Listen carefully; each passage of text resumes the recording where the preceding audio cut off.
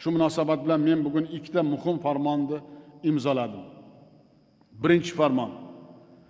Yangilangan konstitutsiyamizning hayotga joriy etish ijrosini ta'minlash uchun uning mazmun mohiyatini xalqimiz o'rtasida keng targ'ib qilish bo'yicha aniq vazifalarni nazarda tutadi. Shu bilan birga yangilangan konstitutsiyaning bir yuz yigirma sakkizinchi moddasida mamlakat prezidentiga berilgan vakolatidan foydalanib men ikkinchi muhim farmonni imzoladim. Unga muvofiq yurtimizda muddatidan ilgari prezident saylovi o'tkaziladi.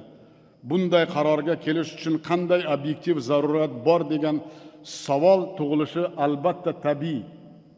Nima uchun qolgan uch yarim yillik prezidentlik muddatidan o'z tashabbusim bilan voz kechyapman? Chunki o'zingiz ko'rib turibsiz asosiy qonunimizga muvofiq birinchidan hokimiyatning barcha bo'g'inlari isloh qilinib ular o'rtasidagi munosabat va muvozanat jiddiy o'zgarmoqda.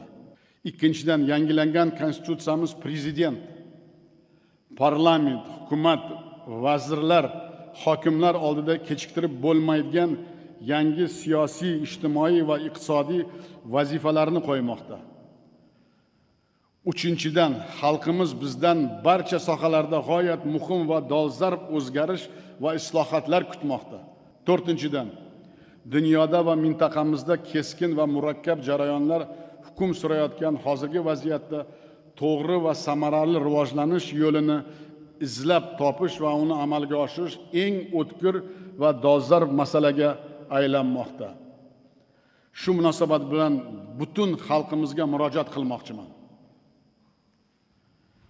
Aziz va muhtaram vatandoshlar barchangiz ko'rib turibsiz oldimizda bugun yanada ulkan marralar qo'yilmoqda.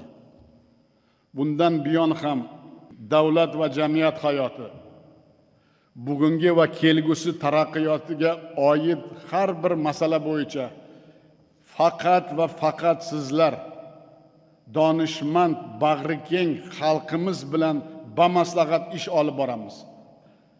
Asosiy qonunimizda xalq davlat hokimiyatining birdan bir manbai deb bejiz yozilmagan. Shu nuqtai nazardan yangilangan davlat hokimiyati tizimida xalqimiz yana bir bor aytaman faqat xalqimiz o'zi ishongan rahbarga mandat berishi maqsadga muvofiqdir.